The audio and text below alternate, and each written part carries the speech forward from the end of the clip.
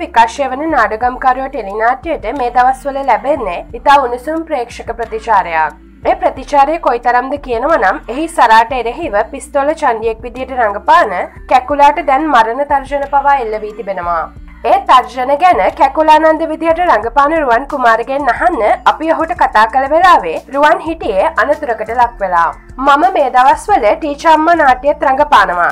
ඉතින් ඒ නාට්‍ය එක් තැනක තිබුණා අතින් පයින් කරන සටන් ජවනිකාවක්. ඉතින් ඒ වෙලාවේ මගේ අතේ ඇඟිල්ලක් බිඳුනා. ඒ වගේම උරහිසටත් හානි සිදුවනා. ඉතින් දැන් වෛද්‍ය ප්‍රතිකාර ලබාගෙන නැවතත් රඟපාන්නයි හදන්නේ. මේ කතාබහේදී අපි රුවන්ට එල්ලවී තිබෙන මරණ තර්ශන ගැනත් අහන්න අමතක කළේ නැහැ. මම නාඩගම්කාරයෝ ටෙලිනාටිය රඟපානේ දුෂ්ට චරිතයක්. මේ චරිතයට ගොඩක් දෙනෙක් කැමති නැහැ. ඉතින් සරාට කැමති ප්‍රේක්ෂකයෝ දැන් මට මරණ තර්ජන එල්ල කරන්න පටන්නරන් තියෙන්නේ. ඒක ඇත්තක්ම කියලා හිතාගෙන වෙන්න ඇති පේස්බුක් එකේ විවිධය මට ප්‍රසිද්ධිය මරණ තර්ජන එල්ල කරලා තිබෙනවා. සමහරු කියනවා අහුනත් හොඳ පාඩමක් උගන්වනවා කියලා.